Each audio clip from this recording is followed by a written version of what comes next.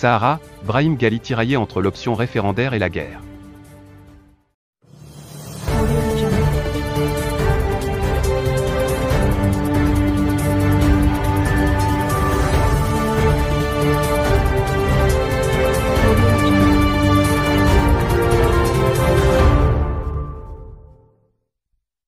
Entre l'option de l'indépendance sans processus référendaire, défendue par le représentant du Polisario à New York, Sidi Mohamed Amar, et le respect du processus onusien, réclamé par l'ambassadeur à Alger, Abdelkader Taleb Omar, Brahim Ghali a tenu à ménager la chèvre et le chou lors de sa réunion, tenue dimanche 16 janvier, avec l'envoyé personnel du secrétaire général des Nations Unies pour le Sahara. Il a cependant réitéré la disposition de son mouvement à s'engager dans le processus des pourparlers menés sous l'égide de l'ONU. Face à Staffan de Mistura, il aurait exprimé la volonté du Polisario d'instaurer la paix et la stabilité dans la région et son adhésion à toute opération pacifique permettant au peuple sahraoui d'exercer son droit à l'autodétermination et à l'indépendance, rapportent des médias sahraouis une position d'équilibriste vite bousculée par le représentant du front à New York, affirmant que la revendication principale reste l'indépendance nationale totale, et c'est là la position de la République arabe sahraoui et démocratique, et du Front Polisario, a-t-il martelé dans des déclarations à la presse, faites au terme des entretiens entre Gali et de Mistura